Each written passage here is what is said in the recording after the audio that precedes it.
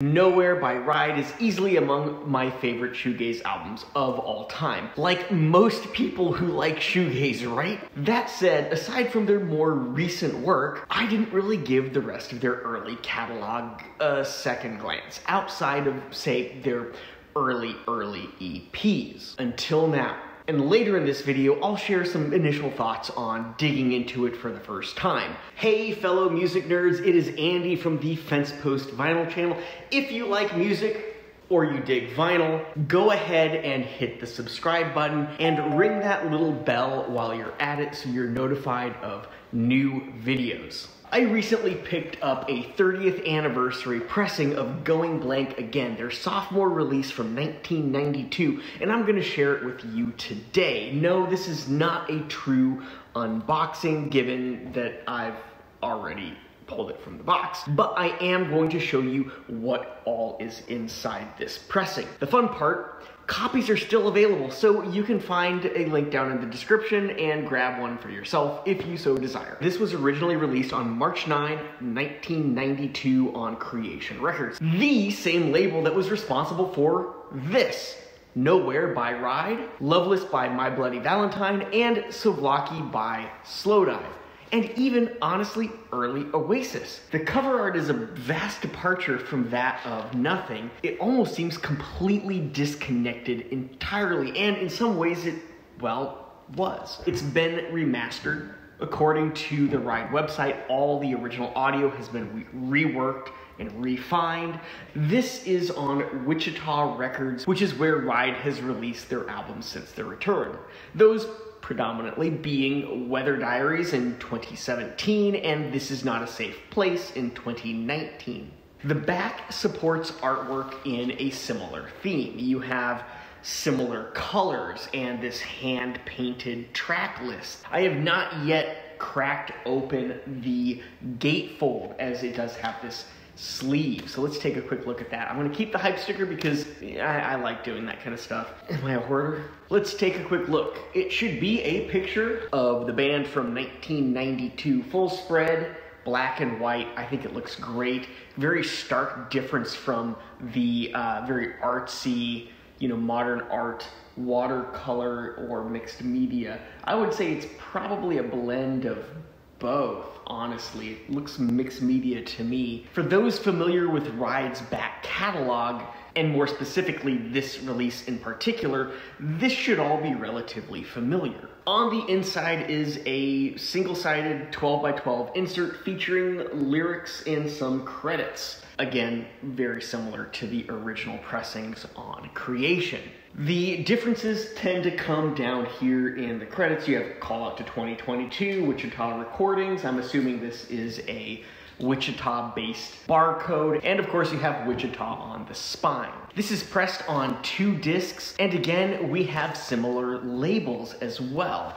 You've got R, I, D, E, with each side including a letter that spells out ride. Yes, that means side C has a big old D on it. No, not that kind of D. Get your mind out of the gutter.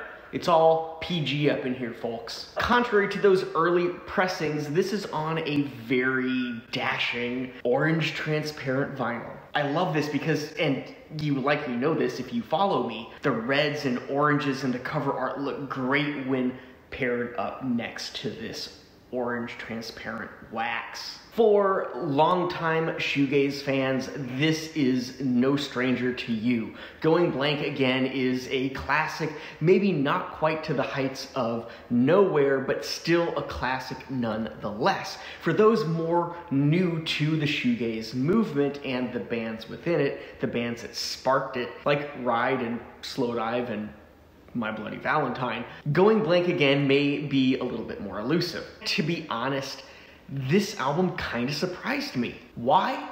With as much attention as Nowhere gets, Going Blank Again, well, doesn't get that attention. And that's a damn shame. Unlike My Bloody Valentine, Ride didn't just disappear after their breakaway hit they churned out a few more albums before disappearing. This being one of them. You've got great, great tracks on here. Some of the singles, Leave Them All Behind, Twisterella, and of course you can't forget OX4. I mean, they released an entire compilation, kind of a best of, that was literally titled OX4. Chrome Waves, Time Machine, these are other favorites of mine from this album. And obviously, while it doesn't quite live up to the power and influence that Nowhere had, this is still a truly solid follow up. You get a solid taste of some of their early stuff on their four EPs, which I cover. Wait. There we go. Their four EPs, which I covered earlier this year or maybe late last year. This features their four early, early EPs, this one included, that, uh, that the band released right around the time of this album here.